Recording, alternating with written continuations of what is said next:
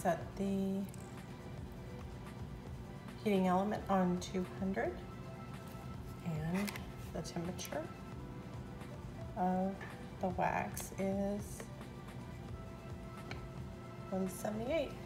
I need it to be at 200 and then I will pull it off. Let's start around a bit. I got some sunshine candles today. Sunshine is a scent of banana, bubblegum, raspberry. It even smells a little citrusy, lemony.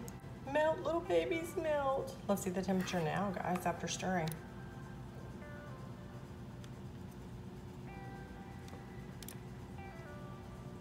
One eighty-six. We're almost there. Sunshine fragrance oil. We are making sunshine candles today.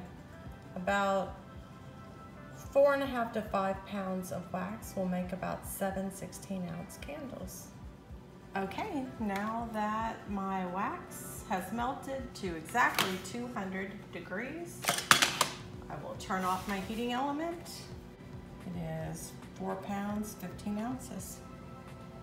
And now we're gonna add our coloring while the temperature's still nice and high. Since we're doing sunshine, I make it yellow, but I'm gonna mix in some yellow. The brighter the better with this. All right, let's check the temperature on this. The temperature on this is 188. And I want it to be about 175. And then I'm gonna drop the fragrance oil, which is here. So one and a half ounces per pound. And I'm gonna go ahead and add my fragrance oil. And remember, I add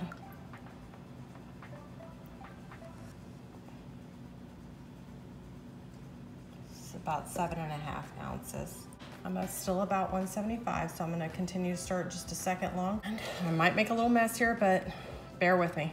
Whoops. Look at that gorgeous color. All right, guys, I've already pre-wicked my jars over here. And here we go. First pour. I try to get as close as I can to the wick. Sometimes I have to hold it. Just so it reduces the splash. And I feel to about right there. Okay, it's time for my literal favorite part of candle making. And it is actually, there's something so satisfying about this, especially when my scissors are nice and sharp.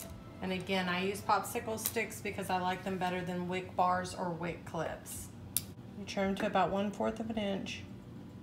Labeling. going to peel off a label. I like to lay it down flat when I do it so I can really see the center of the jar and then I go like this all the way around the jar to make sure there's no air gaps or bubbles rather.